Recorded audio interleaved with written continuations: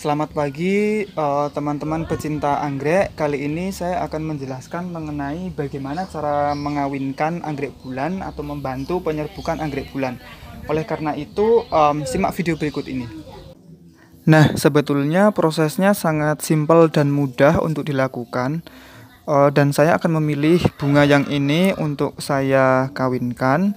Uh, yang ini saja yang berwarna putih Alat yang diperlukan pun juga simple, yaitu seperti ini, uh, stick atau tusuk gigi atau lidi.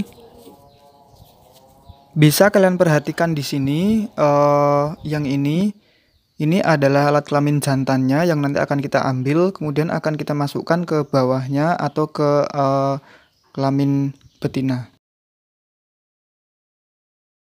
Langsung kita mulai saja prosesnya congkel pelan-pelan uh, yang ini tadi yang sudah saya bilang bijinya atau kelamin jantannya untuk kita masukkan ke kelamin betina di sebelah bawah seperti ini.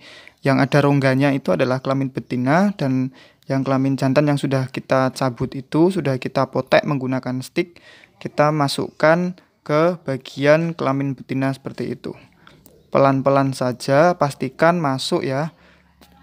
Seperti ini. Mohon maaf ini agak sedikit ketutupan karena ini tangannya sambil megang HP, jadi agak susah. Nah, e, itu sudah masuk ya, sudah terlihat, sudah masuk. Bahasa ilmiah itu biji tadi ada istilahnya kalau tidak salah polinia, sedangkan yang betina adalah kepala putih kita pastikan untuk kelamin jantan tersebut masuk. Ya seperti ini uh, bijinya atau kelamin jantannya sudah masuk ya. Di situ sudah terlihat dan sudah berada di dalam.